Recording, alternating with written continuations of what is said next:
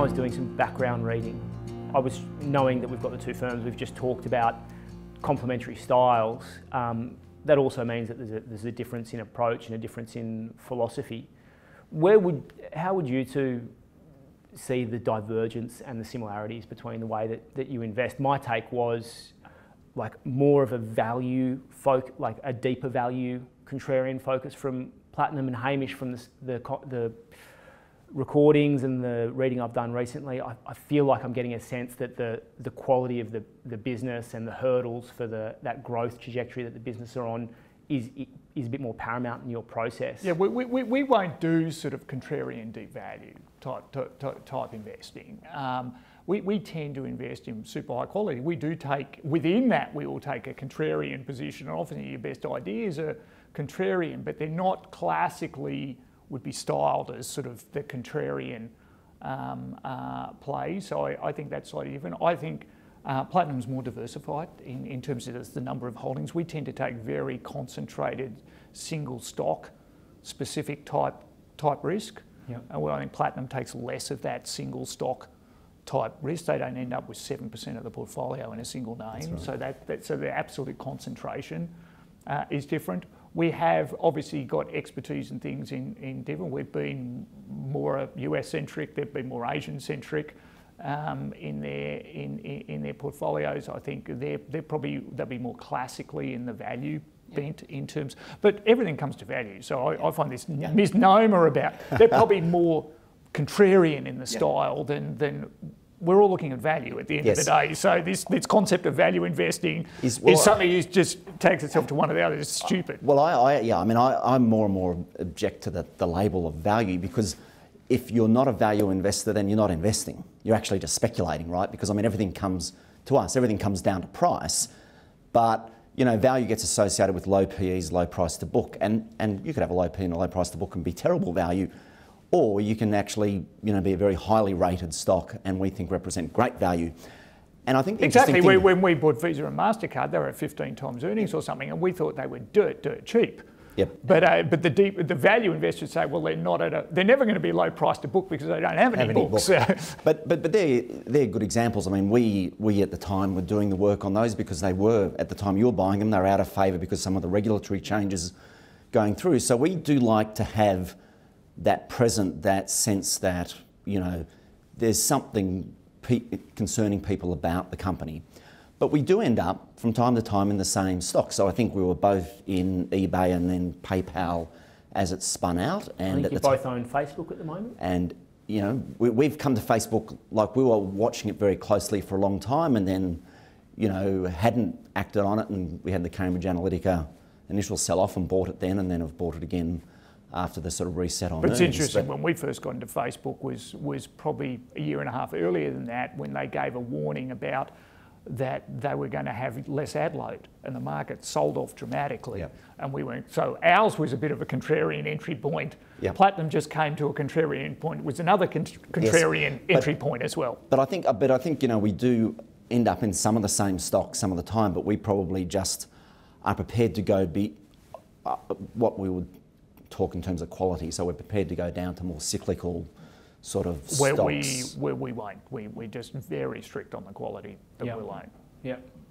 And uh, we're not saying which is right or wrong. It's just a, a style. And, and and it goes a bit to our sort of lesser concentration because we always sort of look at people who run very concentrated portfolios, and for us, we'd say, you know, sometimes those strongest ideas are actually our worst, right? Because you didn't, you didn't identify what, if you could have such a strong view on it, you haven't identified what's making you uncomfortable. And for us, we feel like you've got the good calls are the ones that are very uncomfortable, not the ones that are easily done. So, you know, we do prefer to have that sort of uh, broader spectrum of stocks. Having said that, you know, it's still a relatively concentrated portfolio by many people's standards. But. Yeah, but that the the nature of the cyclicality of the businesses that you own you, you, need that bit of di- diversification just to cushion the ones that don't work out. Is that right? I, I, I think that you just don't have the high, you know, when you, you're investing at the very high quality end of the spectrum, you can have greater certainty about the future outcomes. Um, but you know, it, it's not for us at the moment. We own quite a lot of cyclical type businesses because that's where the market we think is throwing up the great opportunities. But you know, there've been other times where we've been, you know, completely at the other end of the spectrum, depending on what's going on in, on in markets and in the world.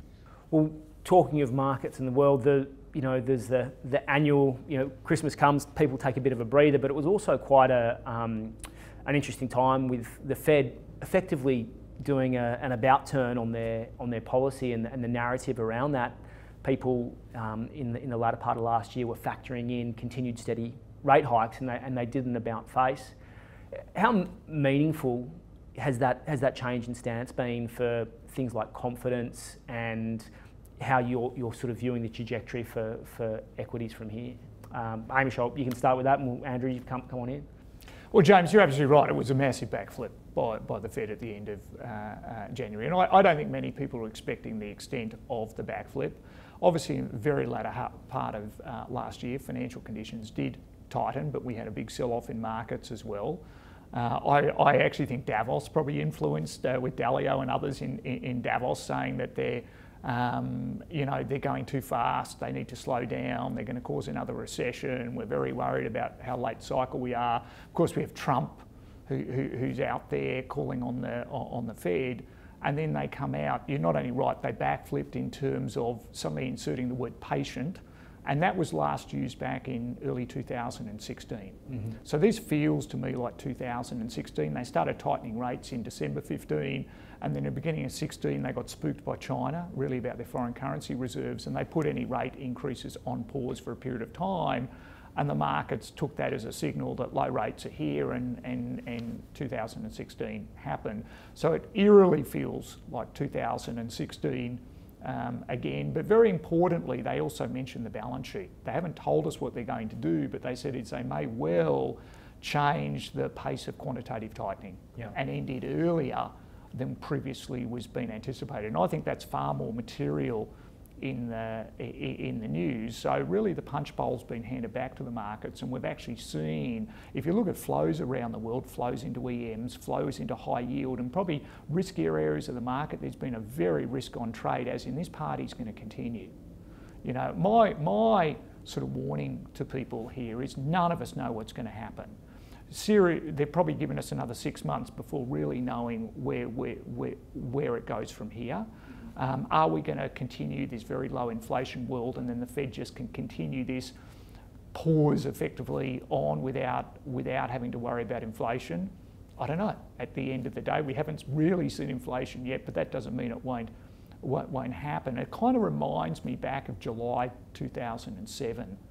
Uh, this environment. And the reason I'm picking July is because that when, that's when Chuck Prince, who was the CEO of Citigroup, made his very famous uh, statement. He goes, you know, when the music's still playing, you've got to get up and dance, and we're still dancing. And, and, and at the way, what Powell has done is actually said the music's still playing. Yeah.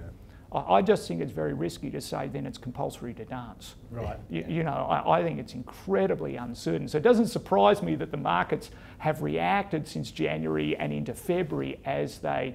Uh, that, as they have, it looks some of this trade dispute may well get taken off the table. We don't know. Um, uh, China seems to have steadied its situation somewhat, and the Fed has said the punch bowl is back, is back and risk is back on. Yeah, I mean, I, would agree with most of with all that uh, Hamish is saying, but I think the thing that's getting missed here all the time in all this analysis is we're focusing on US rates, we're focusing on the US economy. It's what we've done for the last 30 years. But China today, second largest economy, but it's the biggest market in any physical good you can think of, from shoes to planes to trains. It's a huge market. So it is just, I think, very similar to 2016 in the sense that China had a, a huge tightening of monetary policy back then caused by the capital outflows. What we saw a year ago was this financial reform, uh, a huge tightening of the availability of money, and you can see it in Chinese interest rates. So, I mean, if I ask someone, where's the Chinese 10 year bond? Who's going to tell me, right? Or, or, short rates. But Chinese bonds had gone from uh, the 10 year had, uh, yields had risen from you know a bit below three to around four and a half a year ago, and short rates had similarly gone um, above five. So we'd actually inverted the yield curve in China. Now they don't manage their monetary policy really in that fashion. It really reflects other thing that's, things that are going on. But here we had. Um, an inverted yield curve in this economy, and guess what happened? It slowed, and it slowed in a way, in quite a different way to what we've seen before, because it's been a much more of a consumer-focused slowdown as um, some of that uh, credit that was finding its way into that market, particularly through peer-to-peer lending, was taken away. Um, so what have we got now? 10-year uh, yields in China are back down around three. Uh, short rates are below three. Um, and we've got a fiscal, uh, again in China, one of the problems is transparency. But all of the policies, the best analysis that's out there suggests that, you know, we once again have a fiscal stimulus to the tune of about 3%, uh, this time more through tax cuts than spending. You know, I, I think the place, you know, we never, we never do know what's going to come next, but in the, the, way the systems of the world work, you'd expect China's going to look a little bit better this year. We've taken away the US tightening, um, but again, we are late cycle in the US, perhaps not so much in the rest of the world. You know, it's an interesting sort of circumstances we face this year. So, so um, you've got to vote with your feet. Given the changes that have taken place over that 12-month period you've talked about with Chinese rates, what we talked about happening in the US, have you have you dialed up the, the exposure in the portfolio? I know when we caught up last year, I think it was sitting around 80% exposure in your portfolio. Have you have you increased the risk that you're taking? No, what we've really done is change within that portfolio. So as we've we've had the um, had the sell off later in the year, you know there are some really great stocks, very cheap, particularly in the semiconductor area. And the one I like to highlight, um, you know, we've often talked about Samsung, but uh, you know, Micron, um, you know, it's one of the three players in DRAM, one of the five players in flash memory. Most incredible science at the heart of this company or these companies um, a very you know, now consolidated market. The same incentives aren't there to invest in capacity in DRAM at least. Um, it's at the centre of every exciting technology from you know, whether it's Facebook or it's, it's autonomous vehicles, and can buy it at book value. And they're promising to buy back a quarter of their stock at, at the lows. Now, the stocks have had a good bounce off there, but you know, it was extraordinary value in uh, a lot of these cyclical tech areas. So what we were doing is more going, okay, well, you know, we've been progressively leaving, um, you know, positions in in other parts of tech, which we think not particularly expensive, but you know, didn't offer that same sort of opportunity. So whether that was Alibaba in China, or we've, um, you know, been selling down and, and are out of PayPal. Um, which you know we still think they're great companies and they have lots of opportunities, but we thought this you know represented a lot more. So, you know, the, the market exposure is similar to what we had, uh, a little bit lower than that 80% at the moment, um, but but a lot of movements underlying the surface. Hamish, similar style question for you. The in that um, period in the last quarter of, of 2018, there was a big drawdown. Um, you know, particularly in the, in the, US index, and it's, it, it's, it's bounced back. But you were carrying 18% or so cash at, at that time. Um, with that kind of dislocation in the market or, or, or, short-term drawdown, did you, did you find some compelling ideas? Were you, were, did you feel pressed to put some money to work, given some of the changes we talked about at the macro level as well, with rates and, and the punch bowl being served back up? Yeah, at the margin, at, at, the, at, the, at the end of the day. And why I say it was at the margin, um, there was a whole series of things that, that, that we were looking at. And frankly, January ran very strongly. So we, we are less than, we got up to 20% cash. We are, uh, we're less than uh, that. We're probably around 16% cash, slightly less than that. So we've, we've deployed um, uh, uh some cash. We're, don't forget, we're super, super high quality. We tend to not play the technology cyclicals, for instance. I'm not critical at, at all, but that, that, that's not in our sort of quality um, uh, filter of what, what, what we play. But a number of things that sold off very um, uh, dramatically. I'm not going to tell people what we've what we've bought. There has been some trading within the portfolio as we um, as we saw um, uh, as well. Uh, some things we were buying, then they ran past our price limits where we feel comfortable in this um, uh, in this market. Yeah. Um, so at 16% and cash and Andrew, that relatively, you know, so a bit below 80%, that tells me that um, despite some opportunities coming up at the, at the stock specific level, you're both still relatively um, cautious and circumspect about the out, outlook for where we are in markets. Is that, is that a fair summation? I always struggle a bit with like drawing that conclusion from our positioning because to me, the positioning comes about the opportunities in the stocks. Right. So I'm extraordinarily excited about the opportunities in our stocks. Um, and to me, in the world we're in, and I'm talking, you know, long term, not the next 12 months, I, I think as a portfolio positioning thing, you want to run through time with cash of probably 15% because opportunities arise, and if you don't have cash, you're not going to be able to take advantage of it. So I don't even see that as being particularly. I, I think there's lots of issues that will come out of left field and hurt markets over the next five years. Um, but in the meantime, we're buying the stocks we want to buy, have a few interesting short ideas, um, and it's not a statement about. It's not, it's not reflective of a broader view or a market Yeah. level view. No, it, it generally it generally isn't, um, and it's very interesting because most people would take our position as being very cautious on markets. I, I'd actually, if I, if you know, I don't think a 12-month view on markets is of great value from anyone, and I certainly don't think I have great insight into that. But um, because of the sort of things we're talking about with easier liquidity and whatever, my, my best guess is markets are probably going higher this year until um, you know the next problem arises. Well, let's talk um, about one of the major differences that, that people um, attribute to the, the two firms. How you often see uh, Magellan as a, a bit of an, a proxy or exposure to more to US markets and, and Platinum with a specialty in Asia. Um, a question's come through from, from some of our readers saying, where do you want to place your bets? Like, you know, US versus Asia. And there's been this period of really strong uh, US lead, leadership. More recently, Asian markets had, had, had a challenging time.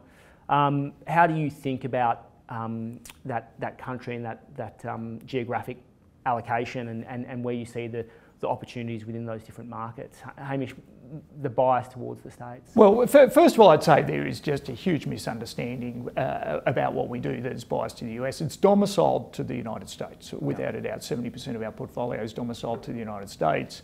But the vast majority of those businesses are very large multinational businesses. We have very, very little cyclical exposure in the United States where we're taking a US view on the US economy dramatically outperforming. Yeah. Actually, we've sold down most of what we'd call our US domestic style uh, exposure in, in the portfolio. You know, we, we've got businesses. The example I often give is, you know, Nestle's a Swiss company and it's got 2% of its sales in Switzerland, but it has nearly 35% of its sales in the United States of America. We don't own Coca-Cola at the, uh, at the moment for various reasons, but Coca-Cola is a kind of quintessential American company and it has a bit over 20% of its business coming out of the United States. Mm-hmm. So everyone would say that if you own Coke, that you've got a US bet on, and if you own Nestle, you may have a European bet on. It's just complete nonsense uh, at, at, at the end of the day. Ours, because of the nature of very market leading firms like Google and Facebook and Apple and um, Nestle and others, they, they, they're, they're operating everywhere, as in Visa and MasterCard. Some of them may not have businesses in China, like Visa and MasterCard don't have businesses in China, but then we've got Starbucks, which is a big business that, that is 60% of its future growth is probably going to be driven by their Chinese business over the next uh, over the next uh, uh, decade. So, so in no way are we. Sometimes we haven't expressed a view of a particular economic zone where we may be buying banks in a particular area of the world or a more cyclical banker kind of cyclicals or, or other things, uh, some retailers we may buy domestic retailers because we're taking an economic view. But we've got a very neutral economic view in the portfolio, notwithstanding we've got this big domicile view at the moment. We don't tend to have a lot of what we call economically cyclical things in the portfolio, and that may well be a difference wherever that we, we are uh, at the uh, at the moment. But this whole US, non-US, and also this thing that the US market is more expensive than than other markets around the world. If you look at here, the S&P 500's average price earnings multiple, yes, it looks more expensive, but if you look at the underlying sectors of the market and you compare similar companies in America, and we just had Micron uh, which is a US company, but its P multiple was incredibly low. And they've bought that over maybe some other memory businesses in the world because they started that US one. They, they sell the memory all around the world. Yeah, so, right. so, so even though And Andrew's not Mainly taking a US China. view on that. Mainly in China is he's- uh, yeah, and he's not taking a US view on that, yet that's a US company. He's done it because, and when you look around, some of the big, within sectors, some of the cheaper ones are actually the ones listed in America. It's just the American actually index is far more skewed now to like very large technology, which Yep. trade at higher multiples Yeah. um, as, Yeah, a, I mean, as a whole. this And is- therefore, this whole thing of these commentators about mar- markets simply are just not that inefficient. This is absolutely correct. So I, I think we've missed. Um, is, we've always thought the way you want to look at the world is, and it's the way our teams are set up, is they're industry specialists, and you can't do Micron without knowing Samsung, uh, Hynix, SanDisk, the lot. So you, uh, you can't do Sanofi without knowing what Merck is doing in the US. And this is exactly the case that the US is expensive because of these large tech stocks. There, there's some differences. I think US banks are generally a lot more expensive than banks around the world, but you'll get the but but then conditions for banks have been much better in, in the US. Although I'd actually say, if you actually look at the, the, the big US banks and you look at their average price multiples compared to the non-Chinese Yeah. large banks in the world, the multiples are very, very similar at the moment. they probably are, but if And you if you adjust them for the return on equity, their price to books probably for the right return on equity is probably not that far out. The US was, Yeah.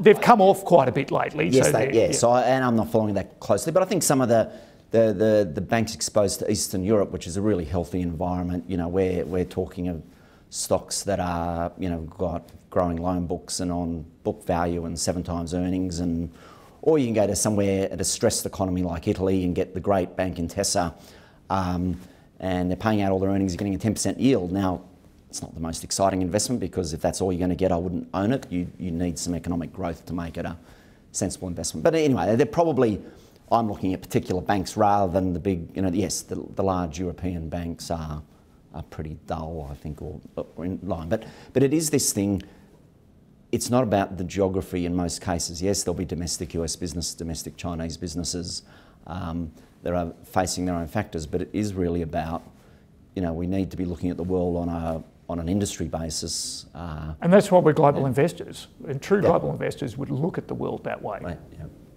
So, what do you think are some of the um, the, the really exciting long-term global industries? Um, you know that you think have got this this multi-year growth cycle ahead of them. Where, where are you seeing the really strong tailwinds, the, the really attractive longer-term picture at the moment? If we take a, a you know a positive view on a particular industry that you think is um, you know, regardless of the, the economic backdrop, is, is really just going to be a, a major player over the next five or ten years. Well, if, if, I picked, if I picked one big one that, that we're still in very early stages, I'd put cloud computing. Uh, the shift of computing power in the world, and there are going to be very, very few huge infrastructure players in the world with the deep um, capability. So, you, so outside of China, um, we probably have three very large-scale players uh, now in the world. Amazon with AWS obviously is one. Number two is sitting in Azure, which is owned by Microsoft, and three in the world is um, um, Google Cloud, obviously owned by uh, by Alphabet. Um, uh, there, we're at a very very early stage, probably in a trillion dollar addressable um, uh, uh, market. If you look over the next decade, that's going to be a massive industry. To get into that, you probably, uh, and of course, there's participations in that, and we may hear something on semiconductors and other things, how to participate that. But I think an industry of the future, of the shift of computational power to the cloud, and even things like uh, driverless cars and things, that's all going to be powered by ultimately cloud-based te- te- technology, and then you've got the chips and you've got the software and everything that goes into that. So, you know, we've been in some ones that have still got very long tailwinds. We've been payments for a long period of time. There's still this massive shift. You know, global consumption expenditure probably grows at 6%, but these big payment networks are probably growing at around 12. PayPal's a bit faster, but big Visa and MasterCards, because you've still got this massive shift out of payments of cash and check. You know, when you have something delivered online, when is the last time you paid cash on delivery or a check on delivery? It and all that is everything that's going online has to be paid digitally um, uh, now in the world. So that, that is still, even though it's been going on, it's got a very long um, um, a tailwind. But the, the, the big emerging one that I think is just massive in terms of scale, I'd probably put the uh, shift to the cloud. And there's, there's, there's all sorts of different ways. You could be in the software, software as a service, you can be the infrastructure providers, you could probably be in the semiconductor space um, um, uh, could, there. Could you give, give me, I'll come to you in a second, give me an example of, um, you know, often um, people like to say, so what's changing? What's, a, what's a, a new piece of technology? What's being enabled by cloud computing that, that, that really captures your imagination? I imagine you meet with these these big companies that you're talking about and they're working on projects out the side. Like, what are some of the, the things that you've seen when you've been out researching these companies and understanding their capabilities that have, that have really sort of blown sort of blown your mind in terms of, of, of, of change with, with how we're going to be living and, and, and interacting in the world? Well, I, I, think we're just seeing it in a very simple sense in sort of in, in, in, in now we're worrying about cybersecurity and security and everything. These big cloud providers can provide much better security for the future than we can provide by investing in our own systems on, on premise because they can be automatically patched, for instance. And a lot of these cyber attacks that have happened have attacked from very large companies with on premise software that simply forgot to patch, or it's very, if you operate in 80 countries in the world, it's very, very hard to continuously patch all your different software and everything on the, on the basis. So they're very practical examples, but of course, once you shift of that model and you get software as a service, um, and, and you shift to that, you're then in a very annuity style uh, uh, business. I think powered by the cloud, you, you, are going to see the Internet of Things, uh, of course, where we're going to get massive amounts of connected devices all through, um, all, all, through our homes. Uh, you look at your photos on your phones at the moment, every photo, they're all stored in the cloud. Uh, that, there's very things happening in your life every single day. Ultimately, we will get to a world, I, I, believe, of driverless cars. I think they'll start, they'll start out as taxi fleets. So I think personal driverless cars are a long way out from where we're sitting today. But the shifts there and the impact it's going to have on, on, on people is going to be absolutely immense. We're right at the we're right at the uh, 1.0 of what the shift to the cloud means for business models and just how we do things in our day-to-day lives. Do you get excited by the same change? Well, I mean, absolutely. The, the, sort of cloud is enabling all sorts of interesting things, even within software. So that uh, issue of um, security, for example, you know, interesting company. We don't own it. It's it's it's it's pretty well loved. Zscaler, which is using a cloud-based solution to provide security for companies around their existing systems. It's a very very clever solution. I think it was a, been adopted. It's either Siemens or GE who are who are using it. So there's these amazing you know companies coming out of nowhere because of it, um, uh, and you know quite extraordinary. But there's there's lots of elements. There's the to, to, to, the excitement that's out there, whether it's artificial intelligence, which autonomous vehicles is probably one of the most interesting elements of that, and even you know it doesn't have to be fully autonomous, but it's the you know what the features you get on a high end BMW or Audi or Merc as they come down um, you know, through the, the range of vehicles, electric vehicles, um, renewables, uh, you know, lots of interesting things going on there. And then another area is biotech, where, you know, we've got some extraordinary science at the moment um, coming up with all sorts of uh, potential solutions uh, for human health and what, what's what an example you. of a, a, step change in that in that part of the, the world?